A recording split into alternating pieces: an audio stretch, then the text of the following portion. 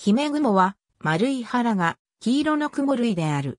シートを持つカゴモを作る。ヒメグモはヒメグモ科オヒメグモ属に属する雲の一種である。人里から森林内まで広く見られる雲の一つである。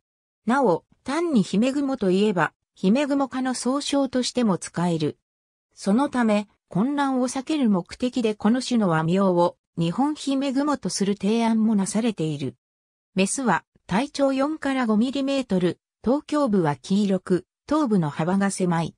腹部が丸く、足は華奢で長い。全体に黄色く、特に腹部は黄色に3つの暗い斑点があるように見えるのが目立つ。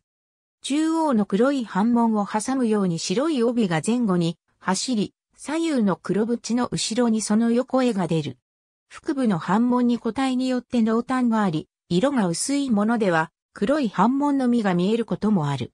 有性中油は体長2から3ミリメートル、斑紋は単純になっている。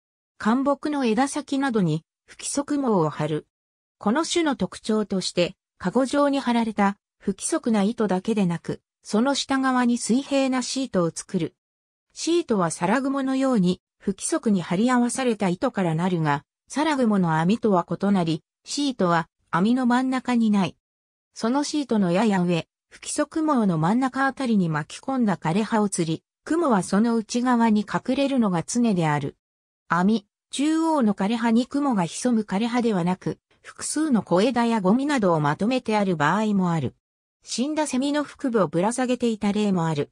いずれにせよ、内側に隙間を作ってあり、雲はその中にいる。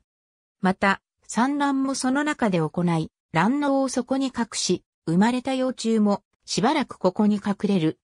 卵巣は、径が1.5から4ミリメートルで、卵巣内の卵数は平均で20個であった。妖精は約1週間で卵巣より出てきて、そこで窓を作る。メス親は、この妖精に食物を与える行動をとる。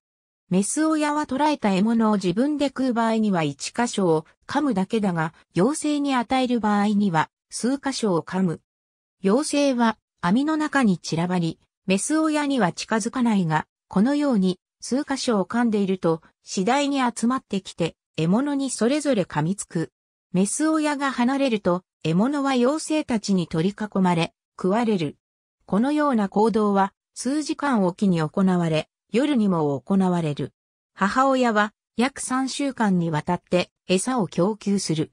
北海道、本州、四国、九州から知られる。国外では、韓国と中国に分布がある。ちょうど人間の目の高さあたり、低くても地上1メートルくらいの木の枝先など、やや開放的な空間に生息する。コンピラヒメグモ、キヒメグモなどは、ヒメグモよりやや小型だが、いずれも黄色っぽい腹部に黒い斑点があるので、よく似ている。斑点の位置などは異なるが、外見では判断が難しい場合もある。なお、この類は分類上の扱いが流動的な部分があり、例えばサーディアンとしたりすることもある。そのため、分類体系の変更によって、ヒメグモがヒメグモ属から外れる場合や、逆にヒメグモが所属する属をヒメグモ属に改名する例などがある。伊藤、ありがとうございます。